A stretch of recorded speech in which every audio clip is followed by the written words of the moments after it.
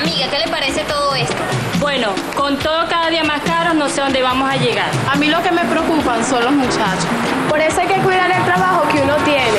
Y ah. seguir ayudándonos y participar todos juntos. Menos mal que aquí en Miranda nos apoyan. En salud, educación, en vivienda, en todo. Pero lo importante es seguir trabajando. Sí, señor. Pase lo que pase, lo nuestro es trabajar.